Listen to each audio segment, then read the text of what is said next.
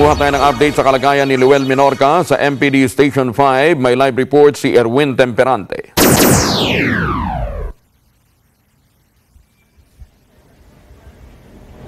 Erwin? Angelo, no, tama ka. Magdamagang nagpatuloy dito sa loob at ah, dito na muna natulog si Anthony o si Lowell Minorca dito sa MPD Station 5 kung saan matapos siyang arestuhin kahapon dahil nga sa kasong libelo mula naman doon sa Lanao del Norte. Nung ating siyang kamustahin, nung ating tanungin yung mga otoridad sa pangunguna nga ni Colonel Albert ah, Barot ay sinabi nilang maayos na kondisyon ang ah, ibinigay nila kay Minorca. Siya ngayon ay naroon sa detention cell kasama yung isa pa doon sa ah, kanyang ah, hinasuhan naman ang kaso ng PNP matapos nga doon sa hindi agad ah, pagsama sa kanila.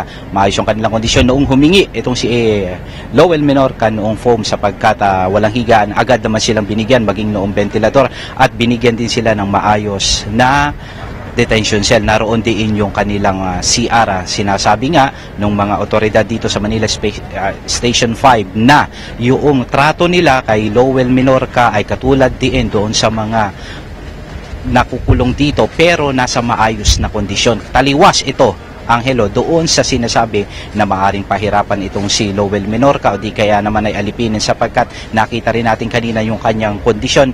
Maayos, malinis, maluwag at ah, well ventilated ika nga itong kanyang kulungan. Ngayon ay nagpapatuloy at narito siya. Wala pang ah, binibigay na bail o piyansa doon sa kanyang kinakaharap na kaso. Dumating kanina rito yung kanyang isang abogado na harap naman doon sa kaso kaugnay doon sa isinampa ng mga taga PNP doon sa Police Maynila Station 10 si Attorney Meribela Salvadora. Kaya inaalam natin kung magsasampa na sila ng ah, bail para naman na pansamantalang makalaya itong si Lowell Minorca. Ang sabi niya kanina ay titignan muna nila kung gugulong itong isinampang kaso ng mga taga PNP laban nga dito kay ah, Lowell Minorca at kung magkagayon man ay aalamin na nila kung ano pa ang mga susunod na mga hakbang sa magka- kasalukuyan. Ang Hilo nananatili siya rito at binibigyan sila ng pagkakataon na madalaw ng kanilang mga mahal sa buhay. Ang katunayan, isa doon sa tiyuhin niya kanina, nagpunta rito at pinayagan base na rin doon sa umiiral na batas na alauna o alas 9 hanggang alas 10 ng umaga and then alauna hanggang alas 2 ng hapon at alas 5 hanggang alas 6 ng hapon